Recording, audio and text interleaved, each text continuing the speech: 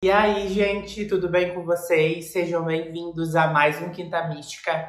Eu sou Francisco Júnior e hoje nós vamos dar boas-vindas aos taurinos. Está aberta a temporada do Sol em Touro. Nós vamos desvendar hoje se é verdade mesmo que esse signo é tão comilão aí como falam.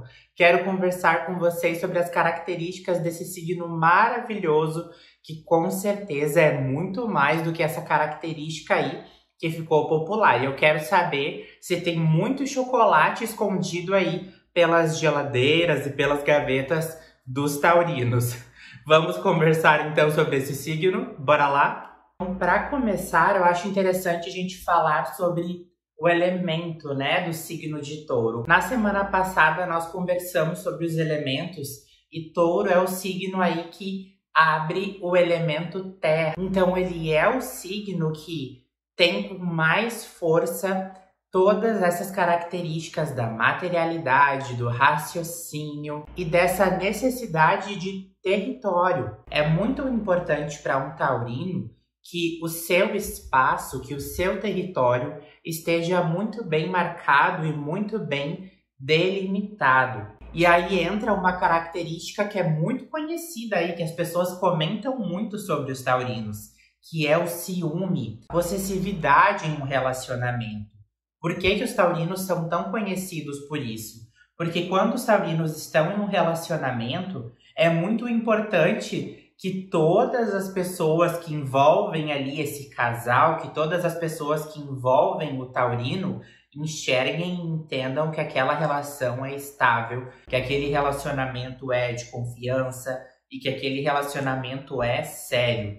Porque aquilo que é do taurino precisa estar dentro do cercadinho, dentro do território do taurino ou da taurina. Características como produtividade, paciência, segurança, determinação são muito fortes para esse signo. É muito comum nas grandes capitais encontrar é, profissionais que entendem de astrologia procurarem nas dinâmicas e nas seleções profissionais que tenham essas características e que sejam de determinados signos. Signos fixos, os signos do elemento terra, são muito procurados por algumas empresas, por algumas grandes empresas, porque são signos que prezam muito por essa estabilidade e por esse trabalho muito bem feito, por esse trabalho muito bem colocado, por esses finos ajustes, por esses trabalhos aí que são detalhadamente bem colocados.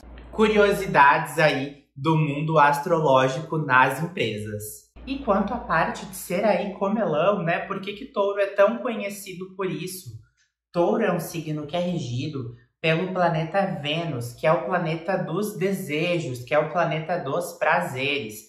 Então é um signo aí envolvido por toda essa parte de sensualidade pelos prazeres da vida.